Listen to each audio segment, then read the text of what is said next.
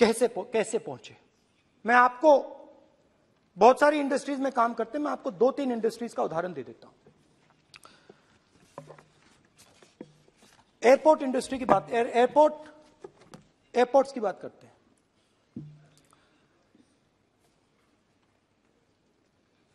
कुछ साल पहले सरकार ने हिंदुस्तान के एयरपोर्ट्स को डेवलप करने के लिए दिया।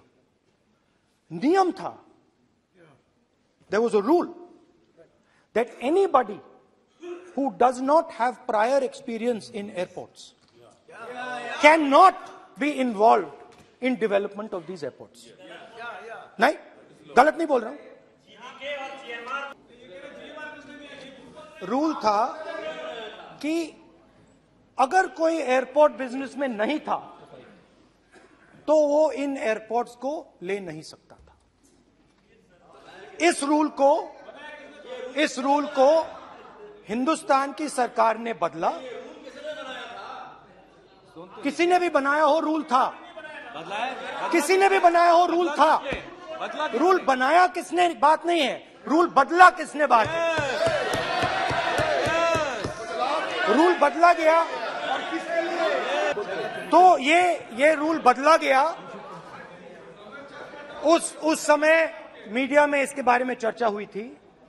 रूल बदला गया और अदानी जी को छह एयरपोर्ट्स दिए गए। उसके बाद